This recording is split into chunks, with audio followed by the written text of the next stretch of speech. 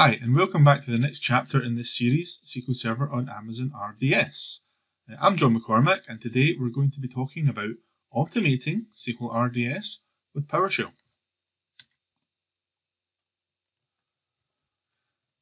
So PowerShell is my um, interface of choice here, but there's an equally valid option to use the Amazon AWS CLI. So most of the functionality between PowerShell and CLI is pretty interchangeable, and really the main thing that varies is the syntax. So PowerShell is familiar to a number of SQL Server DBAs, primarily because we have a history of working with Windows, which is where PowerShell was originally created for. And if we do work with automation, PowerShell is one of the things that um, would be our first choice. So I felt that doing this um, demonstration with PowerShell was the best way to go. But it's equally valid to do all this with CLI. Um, I'm going to talk about how you authenticate via IAM user or role. Um, in my case, it's going to be an IAM user because I'm using my own laptop. If you had a machine or service within AWS, then you could actually use roles, which are a little bit more secure. I'm going to just talk through what's required to install the AWS PowerShell module. And then I'm going to talk through some common commands. So we can find out how to list information about instances we've got, how to create new ones. We may want to start and stop them for uh, cost saving efficiencies. Um, if, they're, if they're not production instances, we might want to remove old instances. We might want to take sort of manual backups using uh, snapshots. We might want to even restore full instances from snapshots. Snapshots cost money, so we might want to remove snapshots as well. So there's a fair little bit to cover, but we're going to go through it fairly quickly. Um, one thing to remember with PowerShell is get help is your friend. So if you don't know exactly uh, how a command works, then by using the get help in front of it, then you will get help. It'll give you some examples and some more detailed uh, documentation. Uh, out grid view is something that I like to do. You can show your output in any way that you prefer, but I find that using out grid view it just makes PowerShell really, really readable. So let's take a look at the AWS console first of all. So here we are in the AWS console, and as you can see, we have our recently visited services in there. And the one that I'm wanting to do here is IAM. So IAM is Identity and Access Management. Um, looking at my security dashboard in here, it's giving me, giving me a bit of a warning that I need to rotate my access keys. That's because I've got some uh, fairly old keys that, that do need to get rotated. Um, so let's click in Users. And the one that we want to do here is the John API. The other ones don't actually have any um, access at the moment. So the John API, I've attached some policies to give it different permissions. Um, it has RDS full access, which is the relevant one here, because it's RDS that we're managing. And if we go into the security credentials, we can see that we have uh, access keys, and they also come with uh, private keys. So this particular access key here that ends with the M7H, we're going to use today. And then after the videos go live, I'm going to make that inactive and rotate it, create a new access key just for security reasons.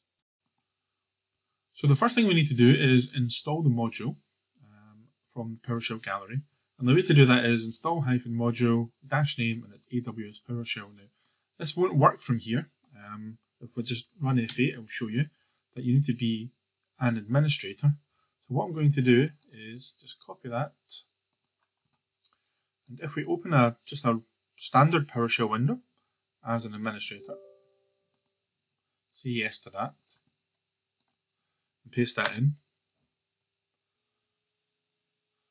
And that's really all there is to it. Now, I, I've already installed it. If that wasn't installed already, then it's going to prompt you to accept it. Um, so you just do install module, pass in the parameter and say either Y for yes or A for accept all. The next thing you need to do when using PowerShell is set an AWS credential. So I already have one saved here as my credentials. it's saved in a place in my C users and if you follow that link through it takes you to a JSON document called registered accounts. So it has some information there. Um, it's all kind of decrypted or encrypted rather so that you, you can't really read exactly what, what it is. But the way you would set that is you would set AWS credential and you pass in an access key, a secret key, and store as, you'll give it the profile name that you want to use so that each time you run, you just need to run the stored credentials command. So if I run that, that's kind of fake details that came from the AWS documentation. So once we've done that, it's going to update the registered accounts.json. And if you have a look now, you'll see that not only does it have my AWS credentials as it previously had, but also has my new profile. The first command to show you is get RDS DB instance. And I'm going to use the region US East 2. So if we pass in US East 2 and run that, then it gives you the information about an instance that we have running in there, which is the demo DB. It's not always the easiest thing to, to read. So if we pass it in and we select specific columns that we want out, so the instance identifier, the status, the engine and engine version, the instance class, and the uh, DB instance ARN, which is the Amazon resource name. Let's just run that through it. Shouldn't take too long. And then in the background, it's popped up a little window, which as you can see is a lot more readable. So it's told me that the demo DB instance is stopped at the moment. Um, that's because we're not actively working on it. So that will save a little bit of cash. It's SQL Server Express Edition. It's version 14 we used a T2 micro, which was the cheap instance uh, to use, and that's the ARN. Now we've also been through a module on how to create an instance using the GUI. If you're going to be creating a lot of instances, um, and it's more than just a one-off, then you would be as well using PowerShell or even the, the CLI. So what I'm doing here is I'm going to create an instance in the region EU Central 1, which is Frankfurt. And I'm passing in um, an instance identifier for it, so it's Nebula Frankfurt Dev. And various other information, so the security group, the amount of storage, which is the 20 gigs. these are all the same as, as last time around. Um, the instance class is a T2 micro, it's Express Edition. That's my admin username and password.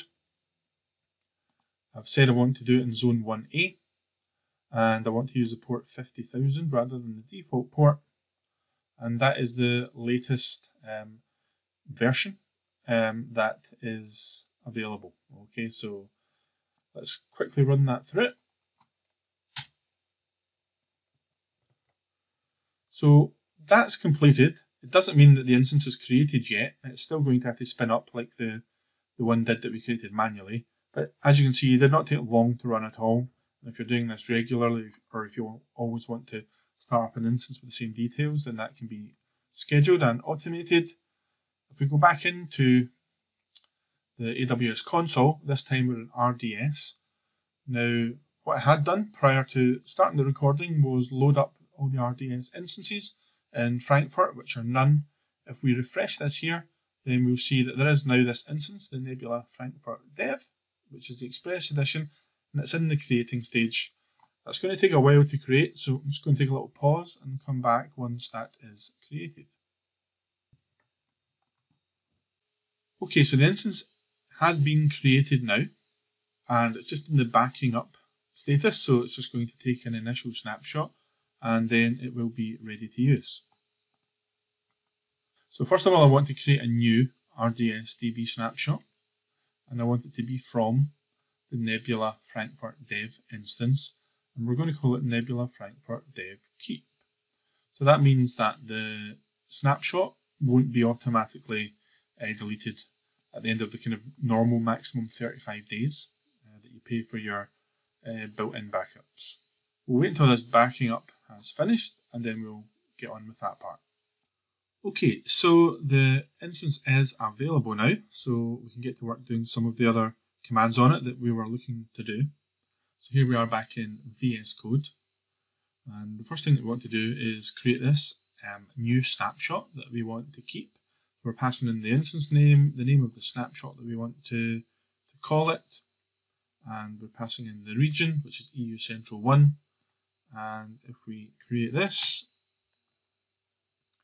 what that's going to do is create a snapshot that won't be deleted until we actually delete it. Okay, so that's going to sit there for as long as you need it. We can also look and see what snapshots we have in play to work with. Again, there's quite a lot there, so let's just add that out to grid view.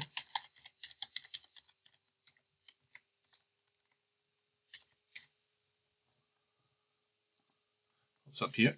So we can see that um, there's a few here with various names, mostly from different uh, conferences that I've spoken at, and I should probably just get around to cleaning them up. Um, there's one that was created last night sorry, that's the one that we created right now, and this one that was created last night, okay? One thing that we can do is we can, when we've backed up an instance, we can actually restore a whole new instance from that snapshot. That's particularly useful if you want to um, restore a production snapshot into a dev, test, or UAT environment. You can just do the restore um, directly like that. Um, in real terms, you probably want to put something in between where you're actually cleaning up the data before you make it available dev test. But again, you could use this uh, onto some kind of staging instance where you, you apply your uh, data masking techniques. Okay, so that snapshot's available now. Let's just run this to, to prove that out. If we have that in the grid view, we can see that it's available. So let's create a new instance using that snapshot we're going to call the instance Nebula Frankfurt Dev Restored. We're going to pass in the identifier for the snapshot, which was Nebula Frankfurt Dev Keep.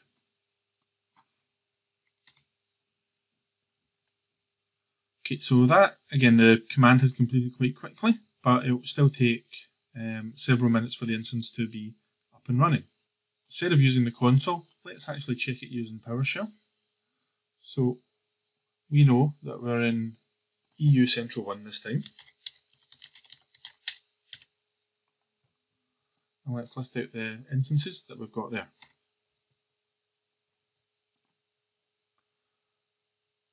So we have the Nebula Frankfurt Dev, and now we can see that Nebula Frankfurt Dev Restored is creating. Whilst that's creating, I want to move on, do a couple of other tasks, and then we'll um, finally get rid of the Dev Restored. So one of the great things um, that can be done for AWS cost optimization is starting and stopping things uh, when they're not in use. Um, RDS allows you to stop an instance for up to seven days. If you don't go back to it in the seven days, it will start it back up again. So it's not like a permanent solution. But if you just need things off overnight or over weekends, then start and stop is an absolutely fantastic option. You can schedule that using cron or some other scheduling tool um, in order to make this happen. So what I want to do here is I want to just run the stop RDSDB instance and pass in the Nebula Frankfurt dev instance identifier. Okay, so that's gone through there. And again, if we're to scroll back up to our get RDSDB instance command, run that in. And we can see that where previously that said available, it's now saying stopping. So it's really as simple as that. It's a one-liner that you can have scheduled and it will um, take up and take down your instances um, as and when needed. Okay, so the instance is available now, so let's just have a um, quick look. Let's run the same command as, as last time to get the information up. And we can see that the main one that we had originally is stopped and the new one is available. So we can really do what we want with those now.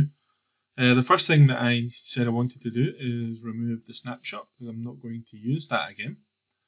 And do that, then that's away. And that's great for cost management. If you don't need things, get rid of them so that you're not paying over the odds.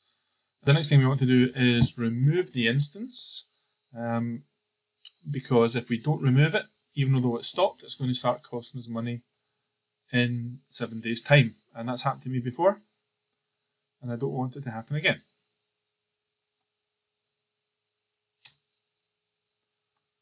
So there's the instance done.